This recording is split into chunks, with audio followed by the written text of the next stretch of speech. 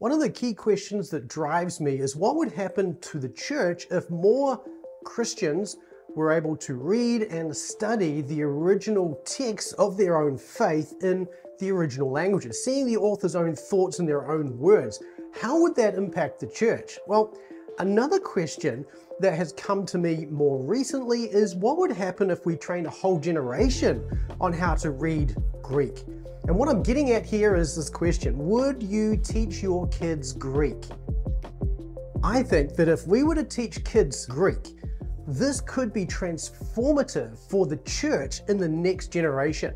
If we want to see the church grow and develop and develop some real ability to defend itself, and by that I mean apologetics, by that I mean understanding the Word of God in depth, by that I mean more than a superficial understanding of Scripture and the, and the Christian faith generally, this could be transformative for the church. And so I think that teaching kids Greek is not only going to be great for the church, but it's also going to be fantastic for kids. Let me walk through a couple of benefits that I have kind of written down that I think would be good for kids generally if they were taught biblical Greek. The first one is related to language and academic benefits. There are huge benefits for kids in learning more than one language. One of the most important and obvious pieces is that it helps kids learn how to communicate more clearly and to put their thoughts and ideas down in a way that can be understood. Knowing how language actually works so that they can understand and be engaged with texts that are more advanced than kids their age normally would be able to take in. And part of the way to do that is to teach kids how language is structured, how language actually works. This is what's called grammar. And, and here's where I think this gets really cool. Most people today, when they go through high school, when they go through, you know, even primary school or, or elementary school, they don't get taught how language works. They don't know how grammar works. And so this is actually, I think, holding us back in a lot of ways as a culture because we don't then have this bridge to learn other languages, which means we don't have the ability to dig into languages that are either dead or even languages that are alive and be able to work with their texts and learn from their culture and literature. We sort of, we, we devote ourselves to learning how to speak the languages, which is great, but it's not the same as learning the literature of a whole culture, which is what's opened up to us when we learn how language actually works. And I think learning Greek for kids and learning how language actually works opens up a whole world of literature to them, not just in Greek, but we could go beyond that into, say, classical Greek, for instance, as well, without a whole lot of effort. This would be really good for kids and help them to really understand the world that they've been brought into and how we got to where we are today. And of course, that doesn't even begin to cover the benefit of actually reading through the New Testament and the Septuagint, the Greek translation of the Old Testament, and the Apostolic Fathers and all the other texts related to the Christian faith as well. The second advantage I think this provides for kids is a strong apologetic defense, if you like, of the faith, of the gospel, because kids today are brought up with kids' Bible, and, and, there's a place for kids' Bibles, right? But one of the things about kids' Bibles is it makes the Bible kind of a friendly, easygoing, kind of kid-friendly place. And as you know, the ancient world was not like that. And many kids today, in fact, we had this recently, Ruby in our team, who I'll talk about in a minute, she was teaching Greek to kids. And one of the kids that she was teaching said, do you mean to say that this was actually real people in a real time in history? And the answer is yes. The Bible is not just a series of stories, it's actually a real thing that happened in people and places and times that are just real, just so separate to our own. And so by getting people, getting kids particularly into the original languages, they see the Bible as a living breathing reality rather than just simply some stories in a kid's book that have got nice pretty illustrations. And I think this helps us to make the Bible more real to our kids and helps them to say there's actually something of substance to this, something to hold on to, something to dig into. There's history, there's culture, there's people, there's personalities, there's all these interactions between God and his people that these kids can now start to see and how these things actually unfolded for themselves. So it immerses kids in the actual world of the New Testament rather than just in kids' Bibles, which then forces them to think more deeply about what it is they're learning about the Christian faith. It's not just a series of stories, this is actually real. This is a real thing. And so that means then that they're going to have a deeper and richer and more practical understanding of what it means to be a believer. And of course, then we get into the theological benefits of kids learning Greek. I mean, what if kids can come face to face with terms like the Lord declaring, you know, I am the Lord. For this reason I raised you up, that I might display my power in you. Passages like this that really help them to come to grips with who God says He is and why that's significant. Getting kids into the text like this can only help us as parents to give them a richer, deeper foundation rooted in the reality of what the Bible teaches about history and culture and so on. The real world can then come to these kids rather than the fabricated world which we so often present to them. But this then raises the question, there's all these benefits of kids learning Greek, but how would we actually go about doing this? And you probably know that there's a number of products out there today that are designed for homeschooling and for helping kids to learn Greek. There are really, I think, two different kinds of parent, shall we say, who would be interested in teaching their kids or having their kids learn Greek. There are, first of all, those who don't want to learn the language themselves. They want to have it basically shrink wrapped and given to them so that they can learn the language. This means they want something that's self contained. They want the kids to have the resources they need and to be able to just sit themselves down and just work on it. Maybe it's half an hour a day, maybe it's an hour, whatever it is, but just something you can say, here's what you got to do, go do it. And then they need the ability to really help the child work through those answers to the questions or the exercises or whatever it happens to be that they're working through. So that would be the parents who don't want to learn Greek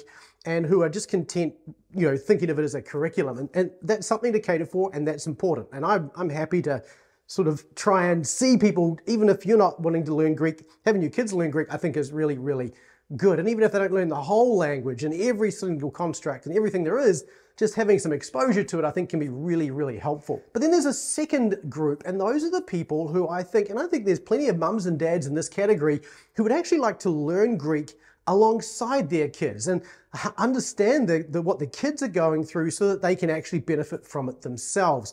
These are the people who will learn the concepts with the kids and then be more involved in what the kids are actually doing. So maybe you're going to work through some of the exercises together and you're going to be able to explain things to your kids.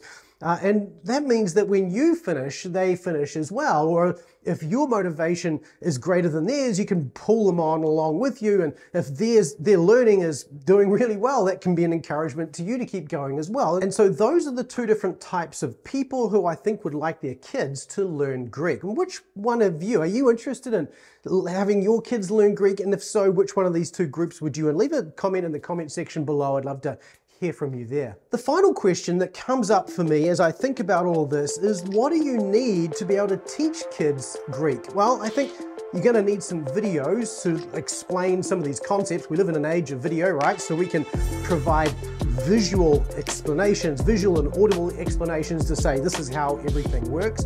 Secondly, we can provide kids particularly with songs and little rhyming activities and things like that that are going to help them to internalize many of the concepts they need to learn. Kids learn very easily with song and it really helps parents as well a lot of the time, doesn't it, to learn how different things work. So we need some songs, something that's going to help them to memorize things like the alphabet and even noun endings perhaps or something like that. Kids also love activities activities. They want to be able to do things that are going to actually reinforce these learning concepts. So activities and worksheets are going to be important. Of course, they're going to need to know what words mean, so they're going to need some vocabulary. They'll need some Greek text that they can actually work with. And then, particularly perhaps for the parents, it could be handy to have a supportive community, a community of other mums and dads and perhaps others just learning Greek in the same kind of direction that would be really helpful for them. So that would be something else I think that would be really helpful for people who are interested in teaching their kids Greek. But what else? Perhaps there's something else you can think of that would help your kids learn Greek. And if so, again, leave it in the comments below. I'd love to hear from you there and get your feedback on this too. Now, the reality is that I'm saying all of this because we've actually been at work over the last mm, year or so working on the beginnings of a kids Greek program. And the idea of this is to approach both those two type, different types of people, those who want to learn it themselves and want to learn with the kids, and those who want to give the kids something to do and be able to work along, work on their own. We want to give both those sorts of those parents something that they can give to their kids to have their kids learning so that their kids get all those benefits of Greek for themselves. Now, it's almost ready, and I'm interested in hearing from you about some of these things. And certainly, if you're interested in this, we're very interested in talking to you about it as well. Ruby, who's been working for me for some time now, has been working on this over the last year. She's got a, a young kid of her own, and, and she's really been teaching some of the kids at our church using this program as well. And it's been really interesting to see it develop. What we've done is we've taken my brand new Beginning Greek in Small Steps course. And if you're not sure about what that is, you can check out the latest update to that by following the link just up in the corner here. Uh, if that program is designed to break beginning Greek down into small, easy steps for, for adults. She's taken that and broken it into even smaller and easier steps, kid-sized steps that kids can then follow. So each one of my lessons becomes something like three lessons or three videos or three lessons, if you like, on its own. And so it breaks it down into even smaller chunks for kids, which means that if you're wanting to learn with your child, then you end up with two different ways that you can learn. You've got the adult version and then you can learn side by side along with the kid with the kids next to what the adult version has. And if you work through the adult version quickly of course you'll be well ahead of your child as they go through the kids curriculum. Now Ruby's very musical as well so she's created a bunch of songs. She's given uh, videos as well with explanations of how everything works in each lessons. There are activities and worksheets and vocabulary and even Greek text that your kids can work through. So all of this is almost ready. And if you're interested in learning more about Greek for kids, or Kids Greek as we call it, then go to bma.to slash kids and sign up today to find out more about it. We're actually really interested in hearing you, your feedback, and we want to hear from you further. If you're interested in a product like this and seeing something like this really come to fruition and, and perfecting it and making it into something that's profoundly helpful for parents, which is what we would love to do, then get involved, let us know you're around, tell us what you'd like to see, put some comments in the comment section below and let us know. Most importantly, sign up at bma.to slash kids to learn more about what we're offering and all of the details around how it's going to work and when you can get it and all that kind of stuff. It's coming in the next few weeks. So sign up bma.to slash kids, learn more about it. I look forward to serving you and seeing you there. Along with Ruby, we're very excited about presenting this to you, and I look forward to serving you and seeing you in the next video. Now, if you found this video helpful, or if you're interested in Greek for Kids, hit the like button. It's gonna help this video get found by more mums and dads who might be interested in their kids learning Greek.